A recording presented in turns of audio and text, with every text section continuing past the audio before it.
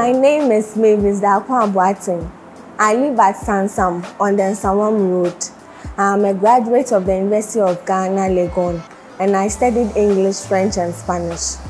Even though I'm self-employed at the moment, I still have the mindset of going back into the corporate world.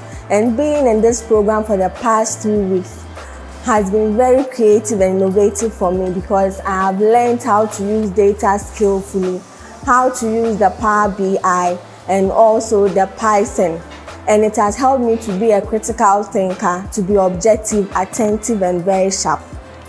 I would like to encourage all ladies out there to grab this golden opportunity to add this one thing to their life's goal or to their CV that will make them stand out in the corporate world or even to their own projects because a lot of people are applying for jobs and you may all have the same criteria for selection.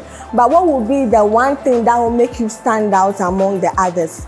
I will encourage all ladies to enroll on this program to add this one skill be a junior data analyst and it will give you the opportunity to have jobs easily. I would like to say a big thank you to the Ghana Tech Lab and all the partners for coming up with this great program. And I would like to say God richly bless them for pulling out resources and coming out with this innovative program, especially to help ladies achieve greater heights.